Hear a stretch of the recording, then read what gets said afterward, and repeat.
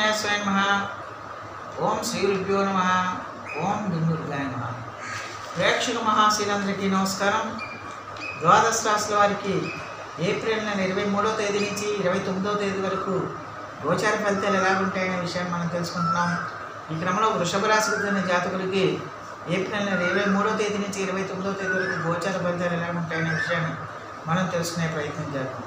ముందుగా వృషభ రాశికి చెందిన జాతకులకి మరి వృషభ రాశికి చెందిన జాతకులు అంటే కృతికా నక్షత్రం రెండు మూడు నాలుగు పాదాలు రోహిణి నక్షత్రం ఒకటి రెండు మూడు నాలుగు పాదాలు అలాగే మృగశిర నక్షత్రం ఒకటి రెండు పాదాలకు చెందిన వ్యక్తులు ఎవరైనా సరే ఈ వృషభ రాశికి చెందిన జాతకులు అయి ఉంటారు. అలాగే ఎవరి పేరున ముందక్షరం ఈ ఈ ఈ ఓ ఏ వా ఓ వా వి ఊ వే ఓ అనే అక్షరాలు ఉంటాయో వారు కూడా ఈ వృషభ రాశికి చెందిన ఫలితాన్ని చూసుకోవచ్చు. ముందుగా గ్రహాల యొక్క సంచారాన్ని కనుక ఈ వృషభ రాశికి చెందిన జాతకులు చూసుకుంటే ఈ వృషభ రాశికి చెందిన జాతకులకి రవి బుధువులు వెయ్యిలో సంచారం చేస్తున్నాడు శుక్రుడు జన్మలో సంచారం చేస్తున్నాడు కుజుడు ద్వితీయంలో సంచారం చేస్తున్నాడు చంద్రుడు ఒకటి రెండు మూడు స్థానాల్లో సంచారం చేస్తున్నాడు. ఆ యొక్క గ్రహాల యొక్క సంచారాన్ని బట్టి మరి వృషభ రాశికి చెందిన జాతకులకి ఈ వారం ఒక శుక్రుడు ఒక్కడే జన్మరాశిలో సంచారం చేసే ఒక శుక్రుడు ఒక్కడే మీకు అనుకూలమైన ఫలితాలను ఇస్తాడు. అలాగే చంద్రుడు కూడా ఒక ఫిఫ్టీ పర్సెంట్ మీకు అనుకూలమైన ఫలితాలను ఇస్తాడన్న విషయాన్ని గమనించాల్సిన అవసరం ఉంటుంది. ముఖ్యంగా ఈ రాశికి చెందిన జాతకులకి రవి వ్యయ సంచారం అనేది అంత అనుకూలంగా లేదు. అందువల్ల ఖచ్చితంగా కూడా ఉద్యోగస్తులు ఈ వారం అంతా కూడా చాలా జాగ్రత్తగా ఉండాల్సిన అవసరం ఎంతైనా ఉంటుంది. అలాగే మీకు ఇష్టం లేని ప్లేసెస్కి మీకు బదిలీలు జరగడానికి కూడా ఎక్కువగా అవకాశాలు కనిపిస్తున్నాయి. అలాగే ఉద్యోగ నష్టం కూడా జరిగే అవకాశాలు ఎక్కువగా కనిపిస్తున్నాయి. అందువల్ల మీరు ఎట్టి పరిస్థితిలో కూడా మీ పై అధికారులతో కానీ మీ తోటి ఉద్యోగులతో కానీ చాలా జాగ్రత్తగా ఉండాల్సిన అవసరం ఉంటుంది. మీరు నిర్లక్ష్యంగా కనుక ఉంటే కనుక ఖచ్చితంగా మీ ఉద్యోగం పోయే అవకాశాలు ఎక్కువగా ఉంటాయనే విషయాన్ని గమనించాలి. అలాగే ప్రయాణాలు చేసేటప్పుడు కూడా ఈ రాశికి చెందిన జాతకులు ఎంత జాగ్రత్తగా ఉంటే అంత మంచిది ప్రమాదాలు కనిపిస్తున్నాయి కాబట్టి ఎంత జాగ్రత్తగా ఉంటే అంత మంచిది అనే విషయాన్ని గమనించాల్సిన అవసరం ఎంతైనా ఉంటుంది. అలాగే ఈ రాశికి చెందిన జాతకులు ఉద్యోగ నిమిత్తమై తరచుగా ఈ వారం అంతా కూడా అటు ఇటు తిరగడం జరుగుతుంది. ఆ అటు ఇటు తిరగడంలో కొంచెం శారీరక శ్రమ మానసిక శ్రమ ఎక్కువ అవుతుంది దానివల్ల కొంచెం మానసికంగా శారీరకంగా కొంచెం ఇబ్బందులు పడే అవకాశాలు ఎక్కువగా ఉంటాయనే విషయాన్ని గమనించాల్సిన అవసరం ఎంతైనా ఉంటుంది. అలాగే ఈ రాశికి చెందిన విద్యార్థులు ఖచ్చితంగా కూడా మీరు మీ చదువుల్ని చాలా కాన్సన్ట్రేషన్తో ఏకాగ్రతతో చదువుకోవాల్సిన అవసరం ఎంతైనా ఉంటుంది. ఎట్టి పరిస్థితుల్లో కూడా మీరు కాన్సన్ట్రేషన్ చేయకపోతే ఖచ్చితంగా ఇబ్బందులు పాలవుతారనే విషయాన్ని గమనించాలి. అలాగే విద్యార్థులు ఈ వారంలో మీరు ఏమైనా ఎక్స్పెక్ట్ చేస్తూ ఉంటే రిజల్ట్స్ అవేమీ కూడా మీకు మా- సానుకూలంగా ఉండవనే విషయాన్ని గమనించాల్సిన అవసరం ఉంటుంది. అలాగే మానసికంగా కూడా మీరు కొంచెం ఆందోళనకు గురయ్యే అవకాశాలు ఉంటాయి అలాగే వ్యాపారస్తులకు కూడా ఈ వారం అంత అనుకూలంగా లేదు. అందువల్ల ఓవర్ స్పెక్యులేషన్స్తో బాగా మితిమీరిన అతి విశ్వాసంతో మీరు కనుక పెట్టుబడి పెట్టుబడులు పెడితే ఖచ్చితంగా ఇబ్బందులు పాలవుతారనే విషయాన్ని గమనించాలి. అలాగే ఉద్యోగాల కోసం ప్రయత్నించే యువత ఏదైతే ఉందో వ్య- వాళ్ళు ఈ వారం వాయిదా వేసుకోవటం మంచిదన్న విషయాన్ని గమనించాల్సిన అవసరం ఉంటుంది.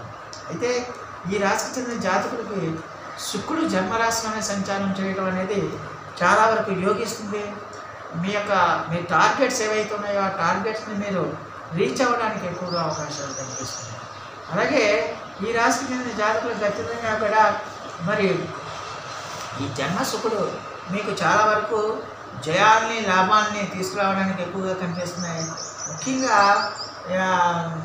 సినిమా టీవీ కళారంగాలలో ఉండే వాళ్ళందరికీ కూడా అద్భుతమైన ఫలితాలు ఉంటాయని విషయాన్ని గమనించాలి. వాళ్ళు కొత్త కొత్త అవకాశాలు వస్తాయి. ఆ అవకాశాలను వాళ్ళు చేజిక్కించుకుంటారు. అలాగే ఖచ్చితంగా కూడా మరి ఈ రాశికి చెందిన జాతకులకి అండ్ ఆ క్రియేటివ్ రంగాల్లో ఉండేవాళ్ళు సృజనాత్మక రంగాల్లో ఉండే వాళ్ళందరికీ మాత్రం ఖచ్చితంగా చాలా వరకు అనుకూలంగా ఉంటుందనే విషయాన్ని గమనించాల్సిన అవసరం ఎంతైనా ఉంటుంది. అలాగే ఈ రాశికి చెందిన జాతకులు ఖచ్చితంగా కూడా మీ కుటుంబ సభ్యులు ఎవరైతే ఉంటారో ఆ కుటుంబ సభ్యులతో మాత్రం చాలా జాగ్రత్తగా ఉండాలి. ఎట్టి పరిస్థితుల్లో కూడా వాదోపవాదాలకు ఆస్కారం ఇవ్వకూడదు ఘర్షణకు అవకా అవకాశం ఇవ్వకూడదు అలాగే గొడవలకు ఆస్కారం ఇవ్వకూడదు ఎందుకంటే మీకు కోపం విపరీతంగా పెరిగిపోయే అవకాశాలు ఎక్కువగా కనిపిస్తున్నాయి. అలాగే ఆ కోపం పెరిగిపోవడం వల్ల ఏంటంటే కుటుంబ సభ్యుల్ని ఏదో మాట వాడిని అంటాం. మీరు అన్నారు కదని అవతల వాళ్ళు ఇంకో రెండు మాటలు అంటాం. ఇలాగా వాదోపవాదాలు ఘర్షణలు పెరిగిపోయి పెద్ద రచ్చల తయారవుతుందనే విషయాన్ని గమనించాలి. అందువల్ల ఎట్టి పరిస్థితుల్లో కూడా మీరు ఎంత ఓపికగా ఎంత సమయం పాటించి ఉంటే అంత మంచిది? అంత మీకు మేలు కలుగుతుందన్న విషయాన్ని గమనించాలి. ఎట్టి పరిస్థితుల్లో కూడా ఒకవేళ మీ మీ యొక్క బంధువులు మిమ్మల్ని ఏదైనా తోలనైనా సరే దాన్ని మీరు టేకిటీజీ పాలసీ కింద తీసుకుని మీరు ముందుకు వెళ్తే మంచిది. అది కాకుండా మీరు కూడా దెబ్బలాట్లకి గొడవలకి సిద్ధమైతే కనుక ఖచ్చితంగా ఇబ్బందులు పాలవుతారనే విషయాన్ని గమనించాల్సిన అవసరం ఉంటుంది.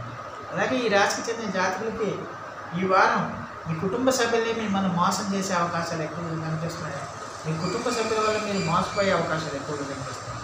అందువల్ల ఈ రాశికి చెందిన జాతకులు మీ కుటుంబ సభ్యులతో ఎంత జాగ్రత్తగా ఉంటే అంత మంచిదన్న విషయాన్ని గమనించాల్సిన అవసరం ఎంతైనా ఉంటుంది అయితే ఈ రాశికి చెందిన జాతకులకి చంద్రుడు ఒకటి రెండు మూడు నాలుగు స్థానాల్లో సంచారం చేయడం వల్ల ఖచ్చితంగా కూడా చంద్రుడు ఒకటి మూడు స్థానాల్లో వీడికి అనుకూలంగా ఫలితాన్ని ఇస్తాడు. అందువల్ల చంద్రుడు ఒక ఫిఫ్టీ పర్సెంట్ మీకు యోగిస్తాడు. చంద్రుడి తర్వాత శుక్రుడు మీకు బాగా యోగించ యోగిస్తాడన్న విషయాన్ని గమనించాలి. అందువల్ల ఈ రాశికి చెందిన జాతకులు ఖచ్చితంగా కూడా మరి ఆది సోమ గురు శుక్రవారాల్లో మీరు ఎలాంటి కొత్త కార్యక్రమాలను ప్రారంభించవచ్చు. కొత్త నిర్ణయాలు చేయొచ్చు. కొత్త కొత్త ప్రాజెక్టులు శ్రీకారం చుట్టవచ్చు ఆయా రోజులు అన్నీ కూడా మీకు చాలా వరకు అనుకూలంగా ఉంటాయనే విషయాన్ని గమనించాల్సిన అవసరం ఉంటుంది. అలాగే రాజకీయ అలాగే రాజకీయ రంగాల్లో ఉండేవాడు ఎవరికైనా సరే ఖచ్చితంగా కూడా ఇబ్బందులు ఎదుర్కొనే అవకాశాలు ఎక్కువగా కనిపిస్తున్నాయి. అలాగే ప్రయాణాలు చేసేటప్పుడు కూడా వెళ్ళి జాగ్రత్తగా ఉండాల్సిన అవసరం ఎంతైనా ఉంటుంది. అలాగే వ్యవసాయ రంగాల్లో ఉండే వాళ్ళకి కూడా మీరు ఓవర్ స్పెక్యులేషన్ చేయొద్దు. అన్ని లాభాలు వస్తాయి ఇన్ని లాభాలు వస్తాయని ఓవర్గా స్పెక్యులేషన్ చేయొద్దు. ఖచ్చితంగా జాగ్రత్తగా ఉండాల్సిన అవసరం ఎంతైనా ఉంటుందన్న విషయాన్ని గమనించాలి. అలాగే ఈ రాశికి చెందిన జాతకులకి ఖచ్చితంగా కూడా మరి మీ కుటుంబ సభ్యుల్లో సోదరుల మీకు ఎక్కువగా ఇబ్బందులు ఎక్కువగా వచ్చే అవకాశాలు ఎక్కువగా కనిపిస్తున్నాయి కాబట్టి మీ సోదరులతో మీరు ఎంత అనుకువగా ఉండి ఎంత సమయం పాటించి ఎంత ఓపికగా ఉంటే అంత మంచిదన్న విషయాన్ని గమనించాల్సిన అవసరం మరి ఈ చెందిన జాతకులకు ఖచ్చితంగా కూడా ఆది సోమ గురు శుక్రవారాలు అనేవి చాలా వరకు అనుకూలంగా ఉన్నాయి. మిగతా రోజులు అంత అనుకూలంగా కావు కాబట్టి ఖచ్చితంగా కూడా మరి ఈ చెందిన జాతకులు ఉపచారాలు చేయాల్సిన అవసరం ఎంతైనా ఉంటుందన్న విషయాన్ని గమనించాలి. ముఖ్యంగా ఈ రాశి జాతకకి రవి బుధుడి యొక్క సంచారం బాగోలేదు ఈ వారం. అలాగే కుజుడి యొక్క సంచారం కూడా మీకు అనుకూలం కాదు.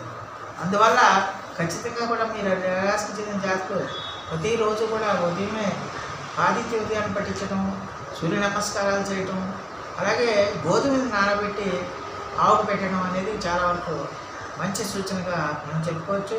అలాగే బుధుడు కూడా ఈ రాశికి చెందిన జాతకులు మెయిన్గా ఉన్నాడు కాబట్టి ప్రతిదీ కూడా ఆయన ఖర్చు పెట్టించేస్తాడు కాబట్టి మేధస్సును ఖర్చు పెట్టేస్తాడు డబ్బును ఖర్చు పెట్టేస్తాడు మీ తెలివితేటలను ఖర్చు పెట్టించేస్తాడు ఇలాగ ప్రతిదీ కూడా వేస్ట్ చేసేస్తాడు కాబట్టి ఖచ్చితంగా ప్రతిరోజు కూడా ఈ రాశికి చెందిన జాతకులు బుధుడి యొక్క జపం చేయాలి వెసలు నానబెట్టి ఆవు పెట్టడం వల్ల చాలా వరకు దోష నివృత్తి జరుగుతుందన్న విషయాన్ని గమనించాలి. అలాగే కుజుడు కూడా ఈ రాశికి చెందిన జాతకులకి అంత పరిస్థితి బాగాలేదు కాబట్టి ప్రతిరోజు కూడా సుబ్రహ్మణ్య ఆరాధన చేయటం అలాగే కందుల్ని ఆ నానబెట్టి ఆవు పెట్టడం వల్ల చాలా వరకు మెరుగైన ఫలితాలు ఉంటాయనే విషయాన్ని గమనించాలి. అలాగే చంద్రుడు కూడా మానసికంగా కూడా ఈ రాశి చెందిన జాతకులు కొంచెం డిస్టర్బ్ అయ్యే అవకాశాలు ఎక్కువగా కనిపిస్తున్నాయి కాబట్టి ఖచ్చితంగా కూడా మరి ఈ రాశికి చెందిన జాతకులు ప్రతిరోజు కూడా ఓం నమ శివాయ అనే పంచాక్షర మంత్రాన్ని కానీ రుద్రాభిషేకాలను కానీ మీరు తరచుగా చేస్తుంటే చాలా వరకు సమస్య నుంచి మీరు బయటపడడానికి ఎక్కువగా అవకాశం ఉంటుంది సో ఈ నా వీడియో కనుక మీకు నచ్చితే లైక్ చేయండి షేర్ చేయండి కామెంట్ చేయండి సబ్స్క్రైబ్ చేయండి సర్వే జన సుఖభవంతు నమస్తే